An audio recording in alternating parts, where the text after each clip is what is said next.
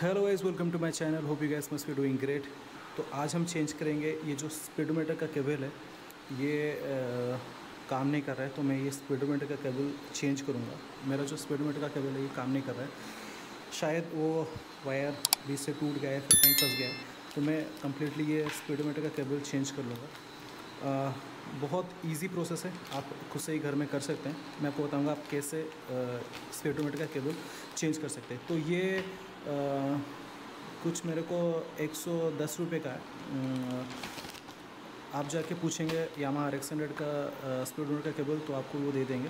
तो मैं आपको बताता हूँ अभी कैसे आप ये स्पीडोमीटर का केबल चेंज करेंगे। तो पहले आपको एट एम mm का जो रिंग स्पैनर है, वो एक एट एम mm का रिंग स्पैनर चाहिए सो दैट आप ये नीचे वाला जो स्पीडोमीटर का कंसोल है, उसको आप निकाल सकें।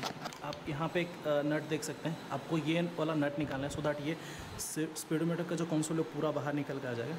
एंड ये जो एंड है, आप उसको, ये वाला जो एंड है, ये वाला, उसको आप निकाल के एंड नीचे से निकाल के उसको चेंज कर सकते हैं। नीचे से निकालने के लिए आपको ये वाला जो एक पिन जैसा है, उसको हल्का सा आपको देखिए मैं दिखा दूँगा। ये जो पिन मैं पहले से निकाल लिया ये जो पिन ना आपको ऐसे प्रेस करके ऊपर खींचना है, ठीक है? ये जो पिन है, आपको ऐसे प्रेस करके प्रेस करके ऊपर खींचना है। ऊपर खींचने के बाद ये निकल जाएगा। एंड हल्का सा आप जर्क करेंगे, ये वायर को आप जर्क करेंगे तो ये वायर भी निकल निकल आएगा, ठीक है? अभी मैं ये स्पीडोमीटर का जो कंसोल है उसको निकाल के आपको पूरा प्रोसेस दिखाता हूँ।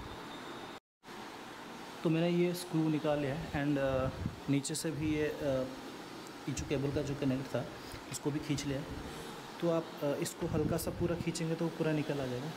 एंड दूसरी बात uh, आपको ये जो बल्ब uh, है वो बल्ब को निकालना पड़ेगा। स्पीडोमीटर का जो बल्ब होता है उसको निकालना पड़ेगा।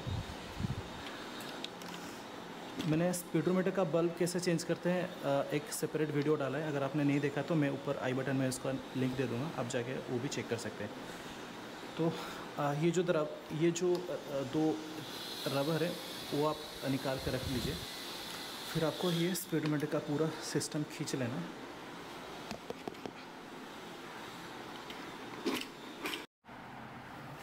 तो ये जो स्पीडोमीटर का वायर है, ये एक्चुअली टूट गया है। देखिए, मैं दिखाता हूँ। ये वायर बीच से टूट गया है एक्चुअली बीच से टूट गया देखिए। यहाँ से टूट गया तो ये जो वाला जो क्लिप है आई थिंक ये क्लिप इसके अंदर नहीं दिया है तो मैं ये वाला क्लिप इसको निकाल देता हूँ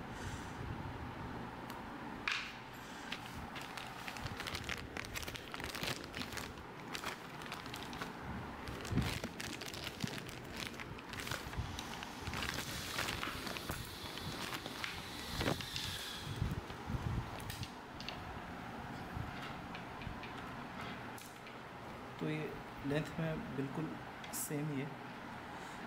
एंड लेंथ में बिल्कुल सेम ही है।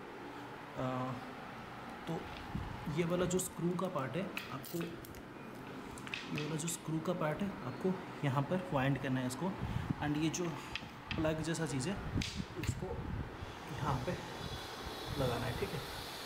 तो मैं वापस जैसा था वैस उसको लगा के आपको चेक करके दिखाऊँगा कि कैसे स्पीडोमीटर काम करता है कि नहीं। ठीक स्पीडोमीटर का केबल जैसा था, मैंने वैसा उसको वापस लगा लिया एंड ये ठीक से काम कर रहा है। मैं आपको दिखाता हूँ कैसे ये काम कर रहा है अभी।